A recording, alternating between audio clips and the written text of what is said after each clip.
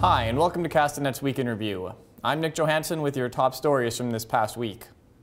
After nothing but bad news on the COVID-19 front for much of the past year, hundreds of vaccinations began in BC this past week. The Pfizer vaccine, which was approved by Health Canada earlier this month, was rolled out in the province on Tuesday, and by Friday, 2,592 doses had been administered to healthcare workers in the lower mainland. By next week, vaccination clinics are expected to be set up in all health authorities across the province, and immunization will ramp up over the next few weeks. The most vulnerable will receive the vaccinations first, like healthcare workers and seniors in long-term care homes. The government says anyone who wants a vaccination should be able to get one by September of next year. And while the vaccination program is good news for the future, COVID-19 continues to have serious consequences in the present. 126 British Columbians died from the virus last week, including three residents of Oliver's McKinney Place care home. An outbreak at the South Okanagan care home is one of the more serious current care home outbreaks in the province, with 41 residents and 15 staff members testing positive. The pandemic also reared its ugly head at Big White Ski Resort this past week, after 76 new cases were connected to the mountain. 44 of the people infected, pe 44 of the people infected are Big White residents, as a result, Interior Health staff spent the week at the mountain testing residents.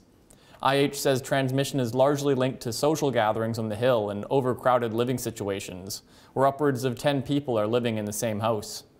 Big White says they've fired several employees as a result.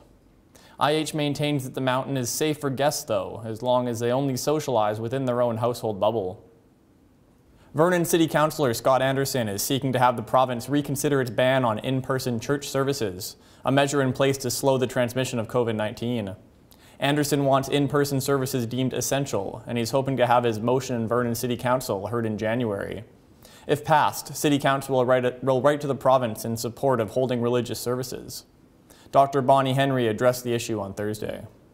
We saw that even though we were following all of the, the safety protocols we had in place, and as you recall, we've been very consistent through this at you know 50 people keeping distances, that even with those safety measures in place, it was being transmitted in some of those settings.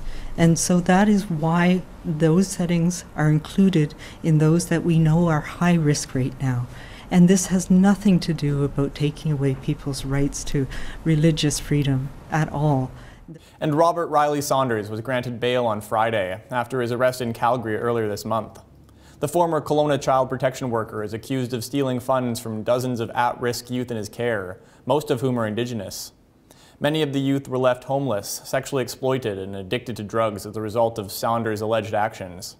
Saunders was arrested on December 4th in Calgary after an extensive RCMP investigation, but he's expected to be released from custody on Monday after he was granted bail on Friday.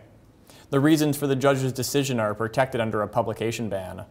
His case will next appear in Kelowna court at the end of January. That's it for this week's Week in Review. For Castanet News, I'm Nich Johansen.